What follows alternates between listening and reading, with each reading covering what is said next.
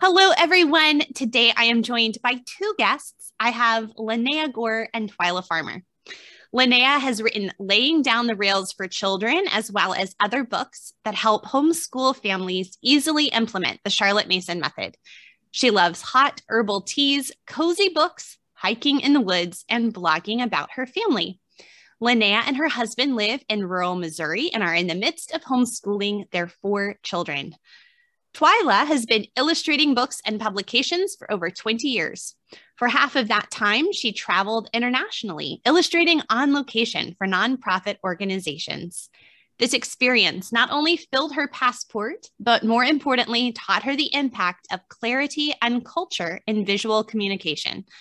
Those projects continue to inform her work as she seeks to visually share the truth and beauty of God and His creation through her art.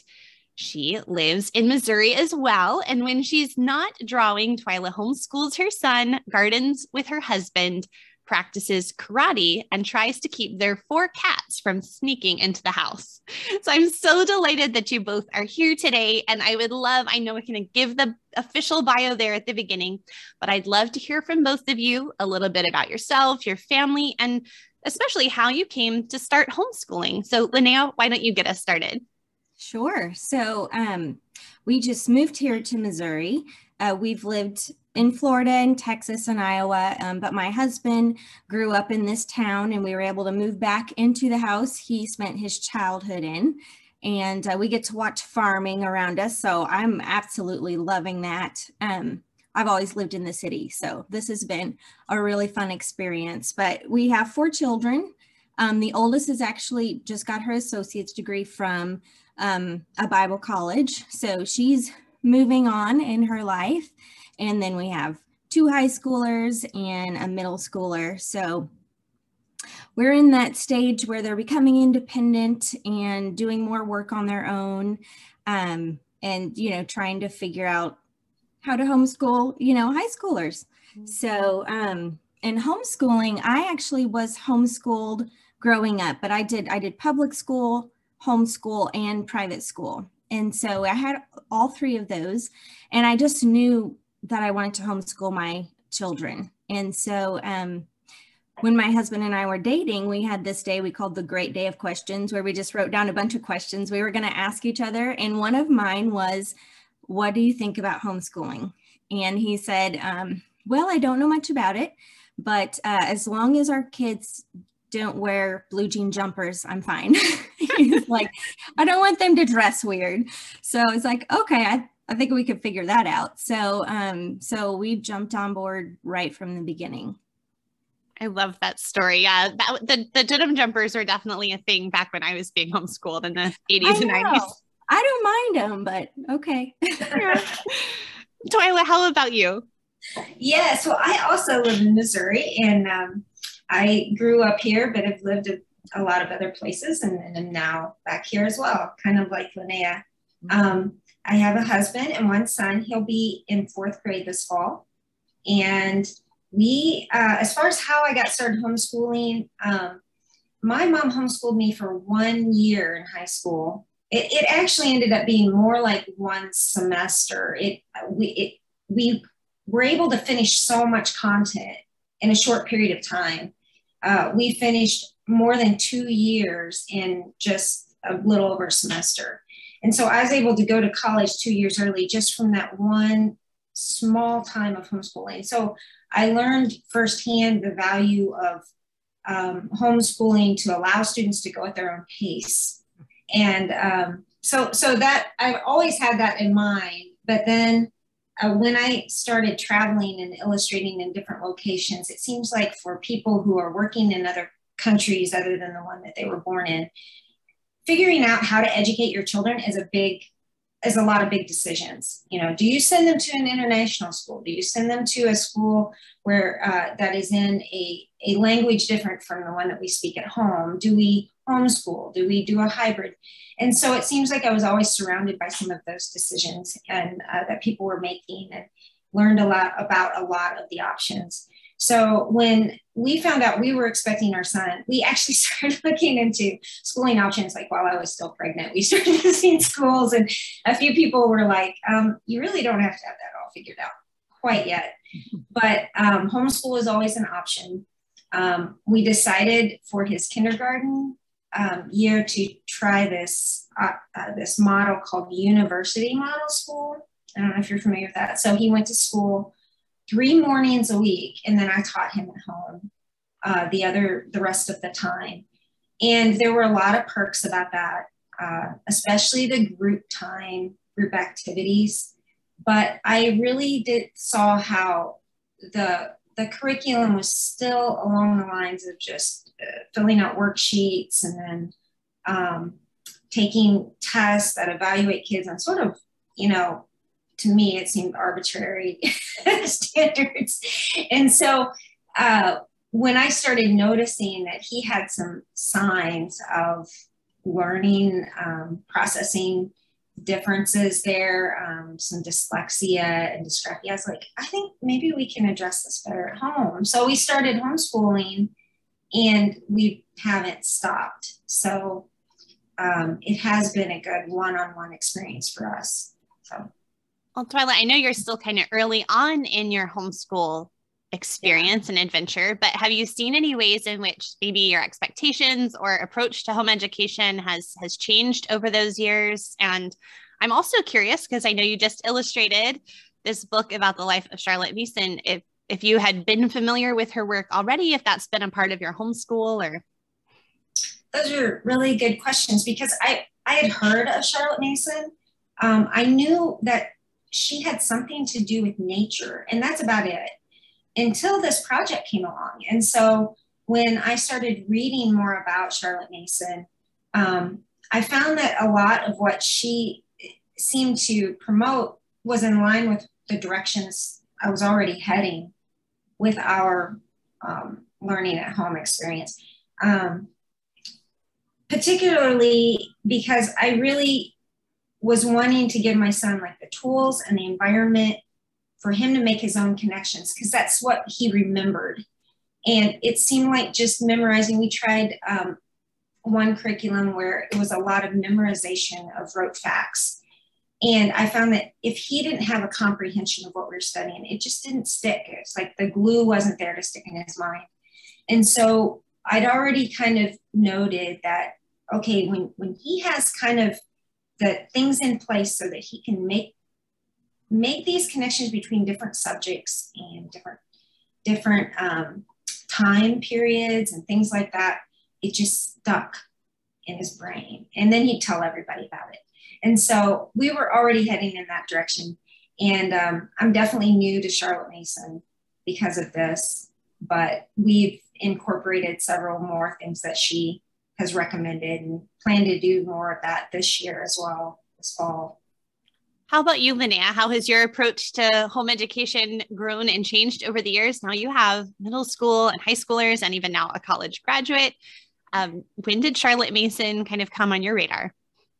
Yeah. Um, so when I homeschooled, I, we used Abeka and that and it's still very popular you know homeschool curriculum and then in the little private school i went to we used ace which is um, accelerated Christian education. It's a it's still a work um, I would say a textbook system, but it's little booklets for each subject, and um, and I learned from both of them, and um, and I appreciated both of them. So I don't want to put them down, but I wanted something different for my kids. I didn't want the textbook just hand it to them. They can I, I don't need to be there. They can sit down and answer the questions themselves and read it themselves, which might be might be great for some families but um, i wanted to be involved maybe it's because i love education or i love to read but i was like i want to read the books to my kids and i want to um, i want to be there whenever they uh, the idea strikes them or they learn how to read you know you want to watch their first steps so that's why i wanted to homeschool one of the reasons i wanted to homeschool my kids but um so I was looking for something different. And when our oldest was well, this is this is kind of interesting. We I was in a teacher resource store and I saw this booklet that said activities and unit studies for a two-year-old. And I was like, oh, Elizabeth's almost two. I can start homeschooling. So I bought the book and I started doing school with her, which is really just like crafts and learning the ABCs and reading a book, you know, that has to do with the theme if you can find one at the library. So it wasn't too schooly, I don't think, but um but I love a schedule, so it was perfect for me to plan little activities for her to do during the day. Um, and I was interested in unit studies. I was like, well, this is different from textbooks. So um, I explored that for a bit and then I didn't, I wasn't too impressed with it. Um, so I started searching again by the time she was in kindergarten. And that's when I took a quiz online. That's, you know, find your homeschool method. And Charlotte Mason is what it told me. And I had never heard of her. So I started searching for her on the internet. What, who's Charlotte Mason? And uh, Simply Charlotte Mason and Ambleside Online were the two big ones that had a lot of information about her and the method and her ideas. So I read everything I could joined the Yahoo groups and, and things like that, and and just started learning um, how do I do this, and um, read her volumes. And at first, you just like grab the practical things, you know. Well, she said to read this book, and she said to teach reading this way, so let's just do that. But you don't really have the foundation, you know. Why did she think this? and so uh, you're doing little bits and pieces um, but over time you keep reading and learning and you figure out okay this is this makes sense or this is natural or um, so how it's changed over the years um, I've, I've learned more about how to do it better for sure but i've also not um, only done charlotte mason. We've done some outside classes that weren't charlotte mason um, because I want my kids to have other teachers and I want them to experience a classroom setting where they have to take a test and they have to take notes. So I want them to have some experience with that. Um, so we've always done or tried to anyway do some outside classes as well. So and I guess have changed and just like okay with that, you know, like um, that's all right when you've got to do that. So yeah we all find the ways to to bring our educational philosophies and our principles into mm-hmm. the actual realities of our life and make it work for our family right? Yeah. Right. well lanaya so you take a quiz which i love. You're like who is this charlotte mason person? And you start researching her and her philosophies obviously influence your homeschool Mm-hmm. How did you get from that to being interested in writing a picture book about Charlotte Mason? And then I also wanted to know specifically, as you were thinking about writing this story, why did you choose the medium of a picture book? Sure. Um, so I, the Charlotte Mason method is a is is around a person, right? Her ideas, and so I really love and appreciate her as a person. The more I read about her, I was just, um, she's kind of like a mentor to a lot, you know, she can be a mentor to a lot of moms and teachers. And um, I had the adult biographies written for adults um, that I knew were out there. I, um, Essex Cholmondeley's and Margaret Coombs biographies. And so I'd read about her, but those aren't super accessible to everyone. At the time I bought them, they were hard to find and kind of expensive. And a lot of moms just aren't going to read to that depth, you know, but I want people to know about her. So, and then also kids, my kids hear about her. Um, I listen to podcasts, I talk to my husband, they read some of her books, you know, her writings. We talk about it during habit training. So um, her name's familiar, and they're probably like, I have no idea who this is. Like, who is this woman? Her name keeps coming up. So I was thinking on two fronts really for kids to read for sure. And so that's where the picture book aspect comes in. But also um, for moms or people new or just being introduced to Charlotte Mason, I thought this could be an easy read and it's a beautiful atmosphere, you know, like a beautiful picture book is just it's attractive. You want to sit down and read it. So um, that's the reason I was thinking of a picture book. Yeah, you're never too old for a really good picture book, right? no, that's right. How about you, Twila? How did you first get interested in illustrating this this book? So, what right now in my life, I'm sure both of you will understand this. Your priorities are um, shared between a lot of important things. We have a family. Um, so, homeschooling is really important to me every day. Um, getting some time in to illustrate is important every day. And, there, it, and it's important to me that all these priorities integrate, that they go together, that they're not competing against one another. I want whatever I am spending my time on um, to benefit my family and to encourage them. And so that's one criteria I look at in deciding what projects to take on. Is, is this is this something that's going to integrate with the other things that are a priority? Um, but I just don't, at this point in my life, I don't have time to illustrate things that are sort of meaningless. Like it needs to be really meaningful. So when Blue Sky Daisies contacted me about this project, and and I knew who Lanaya was. I, we had not met each other, but we knew of each other. Um, and so there was an appeal there to to take on this project simply because it was written by Lanaya.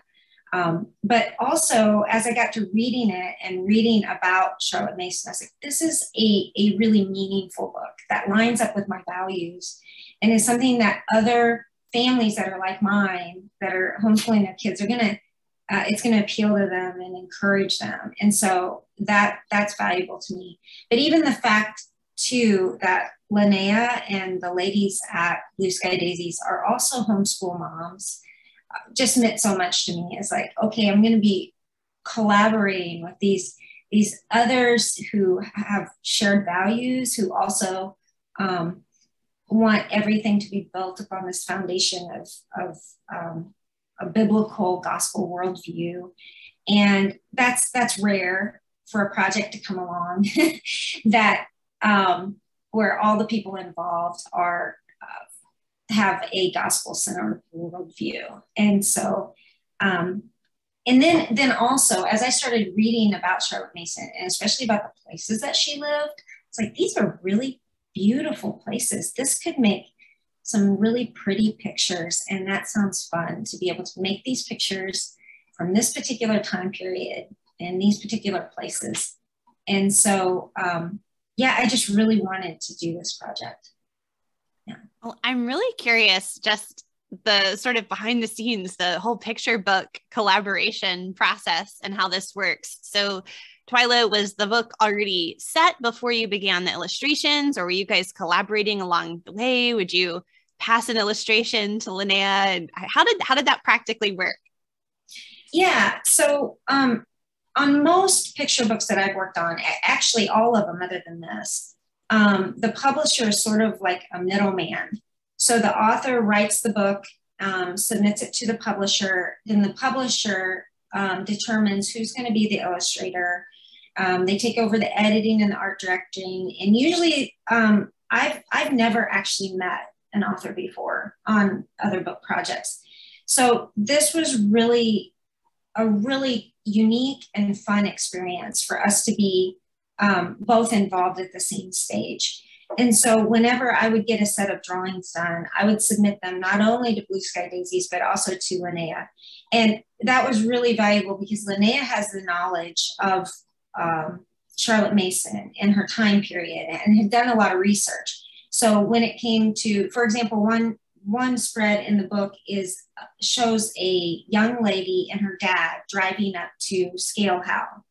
Um, and there's a quote on that spread um, from this young lady. And I originally drew this girl looking like, oh, maybe like 11 years old or something with her dad. And she has like this sun hat on and things.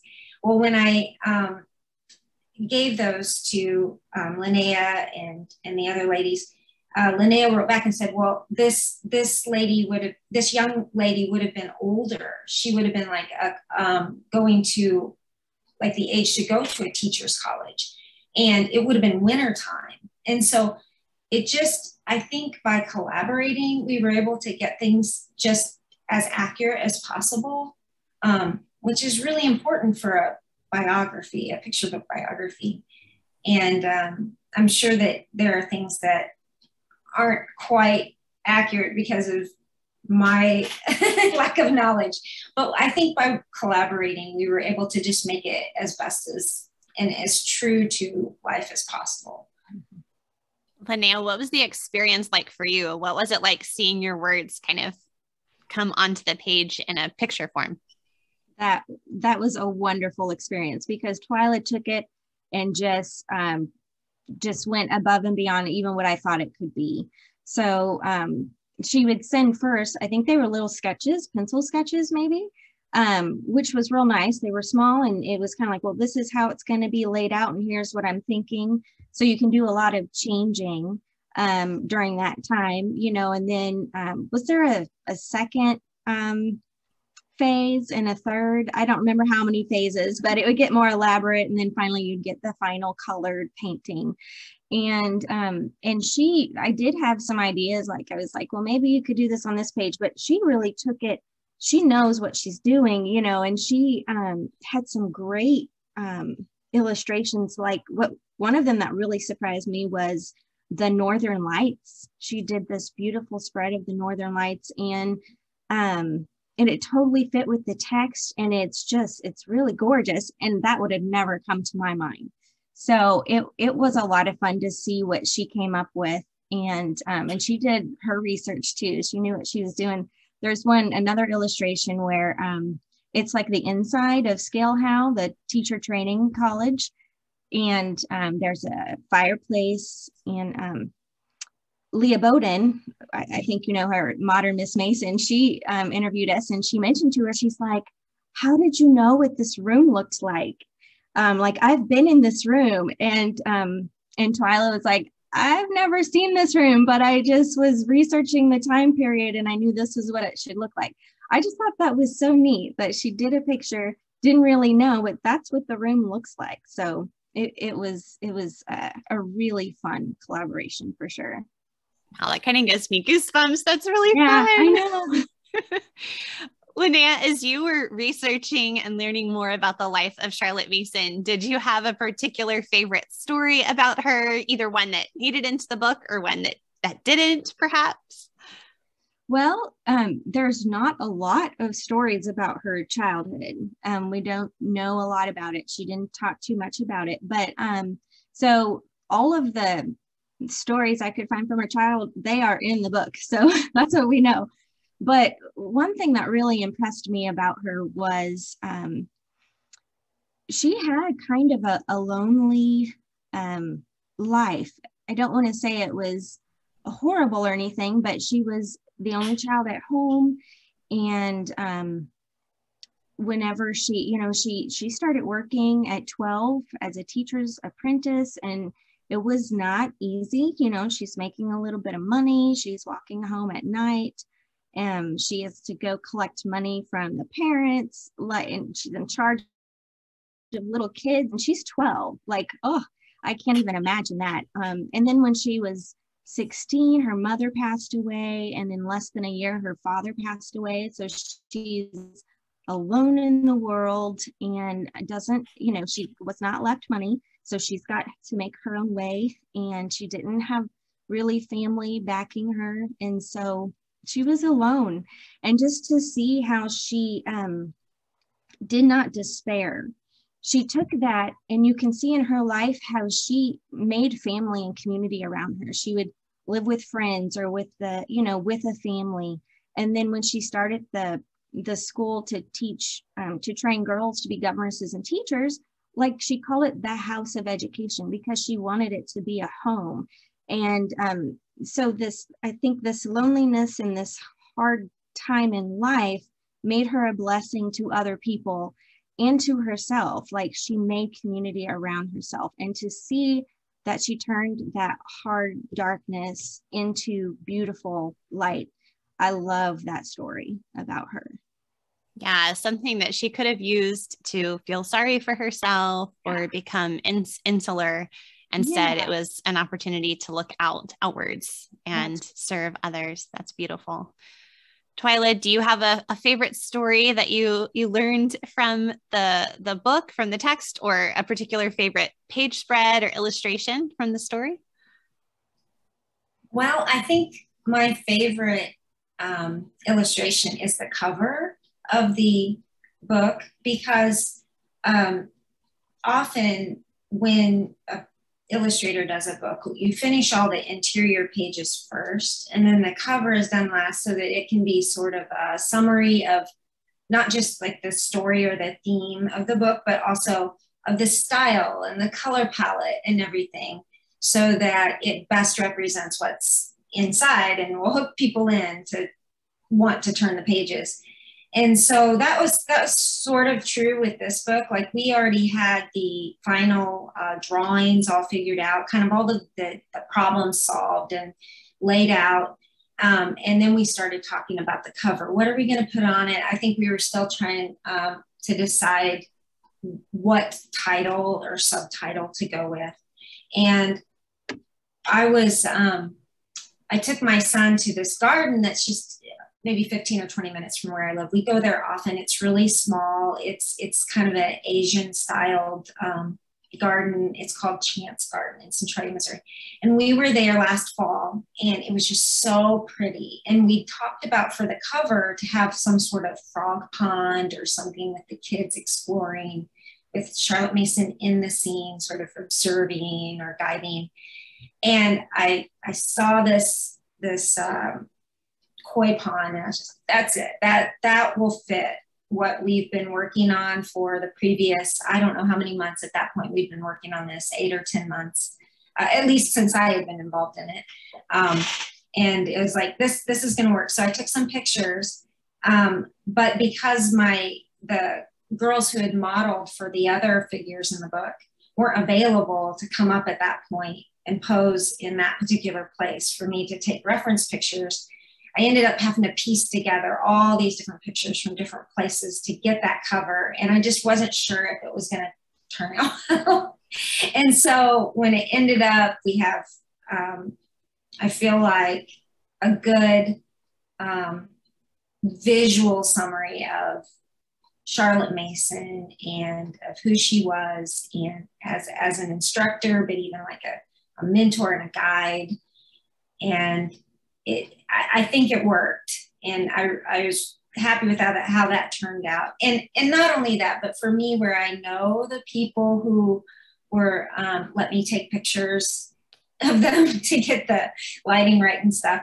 Uh, like my niece is on the back cover of the book, and one of her friends posted Charlotte Mason. It's like that's meaningful for me too to have these these people that I know. My son is one of the little kids on the cover, and um, so that was my favorite. And I would hope that if Charlotte Mason were here and could see it, that she would be like pleased with how she was presented um, in that image. So that's that one is my favorite.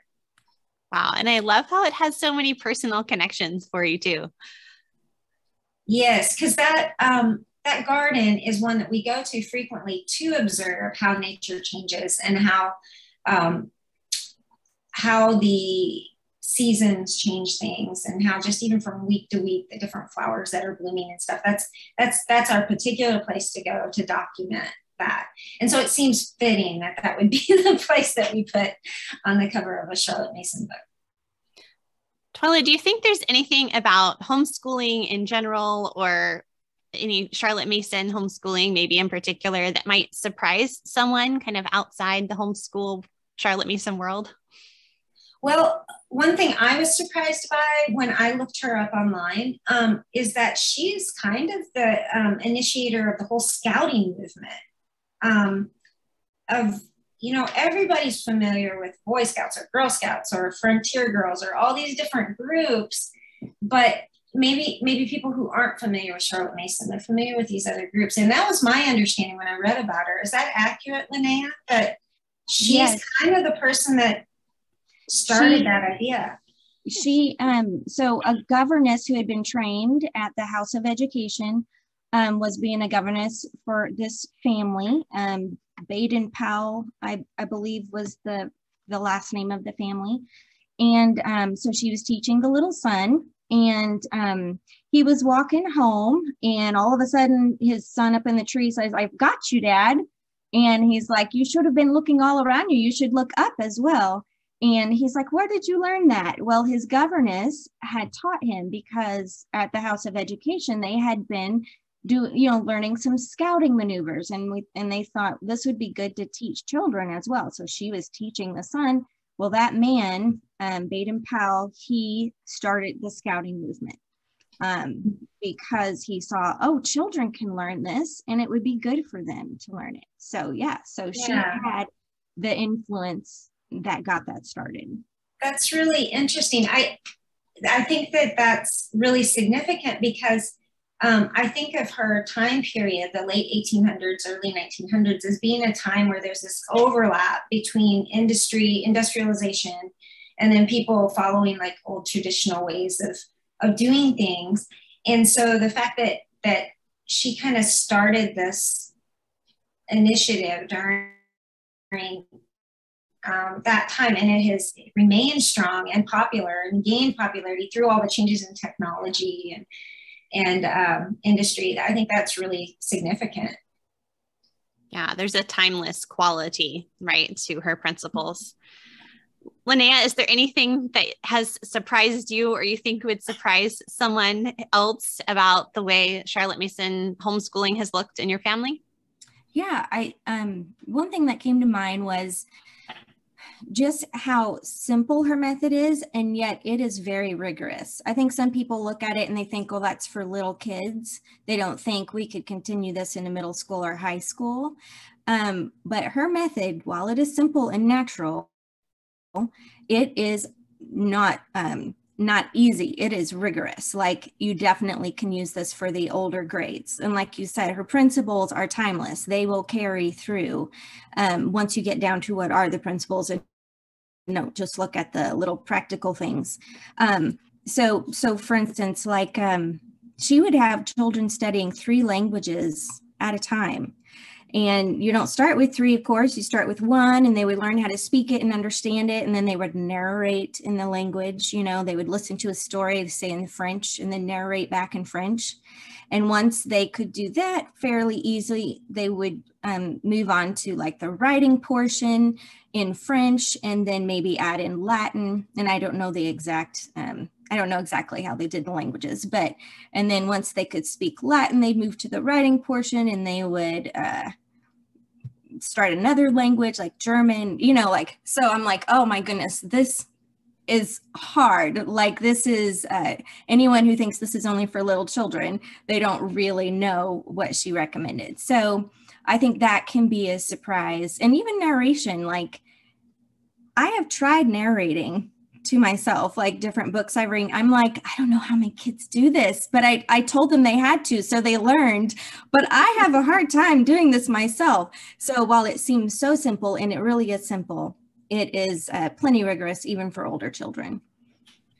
Well, Lanaya, I realized I think I've just completely like neglected to say the actual title of your book. So how about if you tell us the official title of your book? And then, you know, we've been talking about Charlotte Mason a lot. And do you think this book is just for Charlotte Mason homeschoolers or who do you hope reads this book and gets something out of it?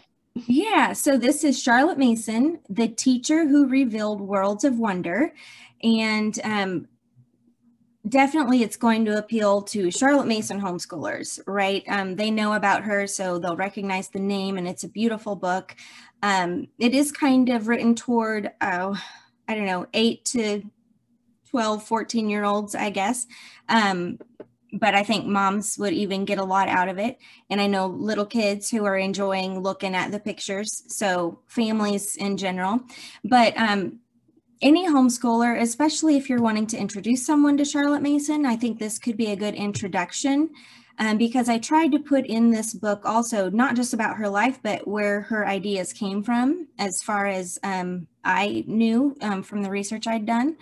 Um, and what her main ideas were. You know, there were several mottos. Um, um, I tried to put all the main mottos in there and explain what they meant. Um, education is the science of relations, for example. And then, um, so I think it could be a good introduction for Charlotte Mason for those who aren't very familiar with her. Even anyone interested in education, I think any teacher who's, and you know, they, they could read this and and it can make them rethink the way they educate like maybe um, these grade the way we grade and and we have rewards maybe there's a different way um, to get children to love learning. Um, so any educator really who's interested in other methods of education and then um, even if you're not homeschooling i think moms because charlotte wrote a lot about how to um, how to train your children. Um, it really surprises me how much she wrote on that subject, you know, habit training. Um, how does the mind and the heart and the soul work together? You've got to train the will and, and, um, and you can't just think whatever you want. You actually have to, when ideas come to your head, you have to examine them and say, is this a good idea? Is this worthy? um, am i going down a bad path like you get to cho- make those choices she talks so much about those type of things so even mothers who just have little kids at home this would this would be a benefit to her as well. You know, I love giving books as gifts at baby showers. Um, mm-hmm. and especially like if someone's having a second, third baby, yeah. They, a lot of times they don't really need any more baby stuff. So that's a perfect time to give books. And I could see this being a really great uh, baby shower gift or baby Absolutely. gift for someone. And yeah. it might be a little less intrusive than like, here, let me give you all the pink books. Her six volumes, thousands of pages. Yes. Maybe a little less intimidating for a young mom. Absolutely. or for any mom, young yeah. or not. Oh, here at the end, I'm going to ask you guys the questions that I am asking all my guests. And so, Twila, I'll start with you and just ask, what are you reading lately? Okay. Well, I'm reading some things with my eyeballs and some things with my ears. I don't know you know that I'm listening to a lot of audiobooks lately. Um, but the things I'm reading with my eyeballs are um, I've been reading Against All Opposition by Greg Bahnsen. It's a um, book about apologetics. And I've been reading um, Principles of War by Jim Wilson. And um, as I'm always reading a historical novel, it's just like the fun thing that, and, and it always gets me interested in time periods and then i start looking everything up to see if the author portrayed, it like how much of it was actually historical. Um, and right now i'm reading one by melanie dobson. I can't remember the title right now um, but it's about world war ii and as far as what i'm listening to with my ears right now i just started um, the abolition of man by cs lewis. And i finished uh, just last week Eve in Exile by Rebekah Merkle, and I really recommend it. I thought it was really, really good. So um, I highly recommend that book. And um, and I've been listening to Pinocchio with my son, um, which I've never really liked. It's such a dark tale of, of a little weird of, of this um, creature that just will not obey um, and will not have wisdom, which I think is the point of the story. But anyway, it's we're listening to that. I love we use those same phrases in our family. We talk about reading with our eyes and reading with our ears because sometimes one is better than the other at different times and for different kids. But I would um, also highly recommend Greg Bahnsen. He has so many great things. My teens have been going through his book, Always Ready, um, in their Sunday school class, and I read that as a teen. It's just an excellent. Uh, he's an excellent resource for apologetics. Yes. How about you, Lanaya? What are you reading lately? I love talking about books and I love she had so many recommendations. So I'm gonna have to write these down or something so I can read. Um, okay, so um, let's see. Okay, I'm reading Kristin Lavransdatter, which is um, a series of three books about a girl in medieval Norway, if I've got all of that correct. And it just kind of follows her life from a young child to getting married and all the kids she has and her relationship with her father and um, and with God. It, you know, there's a lot of um, the church is very involved in her life. So that's been my fun read. I don't. I, I guess that would be historical fiction too, but um, that's been a lot of fun to read. I'm making my way through the C.S. Lewis books, and so I'm on Miracles. And um, I'm pretty sure I've read this one before and I've forgotten most of it. Like two paragraphs really stick out to me. And I'm like, I'm, I know I've read these, but boy, I, I needed to read it again, I guess. It's pretty dense. It's not one of his easy ones, in my opinion, but I'm almost through with that one. And um, I am reading um, Thomas Hardy's Tess of the D'Urbervilles. I think that's a Victorian novel, and I'm listening to a podcast, you know, um, who's going through it, and so I'm kind of reading along with them. So, um, and it's really it's a sad book. I wasn't expecting it, but um, so I think that would. I'm sure there's a couple of others, but those are the three that come to mind. So yeah, I love talking to guests and asking this question, although it's dangerous because then I end up adding to my TBR list, of course. Exactly. But everyone is always like, well, I'm reading more than one. You know, I'm sorry. I think that's okay. Everyone comes and is reading more than one. That's part of what's so fun about this question. So you see all the different the different facets of our reading life that are happening at the same time. So that's fun. All right. Well, the final question is what is your best tip for helping the homeschool day run smoothly, Lanaya? Okay. So um, when I was preparing for this question, I was like, I think I came up with three or four, you know, so I was like, no, she asked for one. She asked for my best. I don't know if this is my best, but um, to make the homeschool day run smoothly, just have a routine. I love routine. That's I work well with routine. Um, and our first week of school is always pretty hard because there isn't a routine yet. You're trying to figure that out. But once you can find it and um, because things interrupt you know our my husband works from home you know and we are like oh he's got a meeting at 9 30 every morning so we probably shouldn't be singing during that time right so you've got to figure all that stuff out and um, but once you get it going try to stick with it and i have found um, that that first half of school like those first four months or four and a half months before christmas um, everything is quieter around like um, there's not a, as much going on as the second half for some reason. So I'm like, really um, concentrate on school and don't skimp, you know, like do a full math lesson every day. You know, if you've got the time, do it because that second half, um, I don't know, we get sick or something. People visit, we go on vacations. I'm not sure, but it's just a little busier. And I'm like, okay, I'm okay because we did so well that first half. We can just do a half of a math lesson today and we're going to be all right. So, um, really uh, put a lot into it on the front end and you'll feel better about it on the back end. Oh, I relate to that so much. I think also you're just tired. Like January and February, it's dark and you've come off the holidays and you're like, we've been homeschooling forever. same thing in the week. I always feel like Mondays and Tuesdays are super productive and then it just kind of goes downhill. So you got to like really get out there and be productive at the beginning. You're right. Yes. How about you, Twila? Do you have a tip for keeping the homeschool day running smoothly? Well, I asked my son yesterday, I was like, what what do you think is the best thing about homeschool? Like, what makes it go well? And he said, cuddling. So that's going to be my answer. Best so answer we, ever.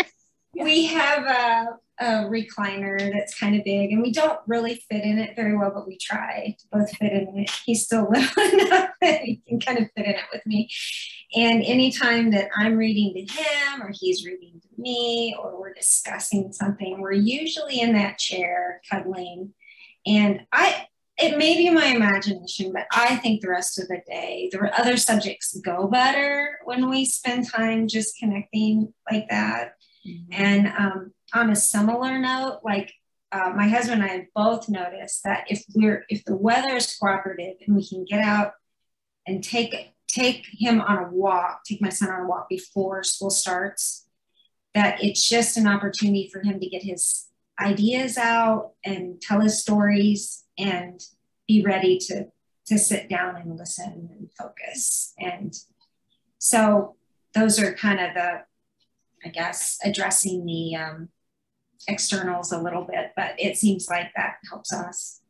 Yeah. You know, people talk about like game schooling, travel schooling. I think we need to make cuddle schooling a thing. Yeah. Yes.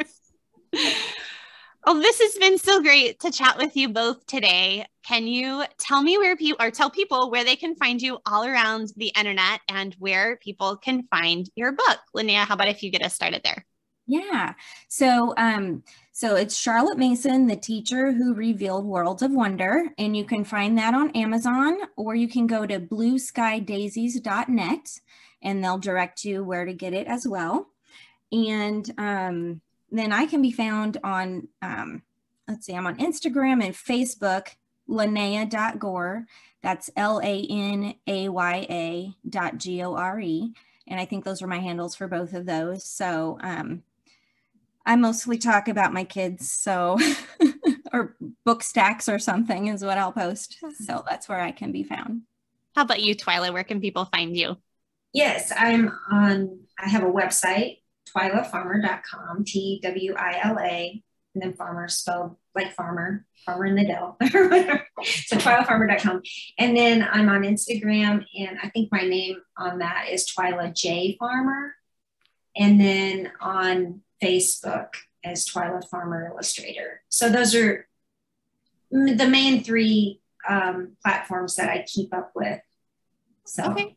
Yeah, and I will have links to all of those places so people can find you and grab your book and the show notes for this episode at humilityanddoxology.com. Thanks so much, ladies. Bye. Thank Bye. you. Thank you so much.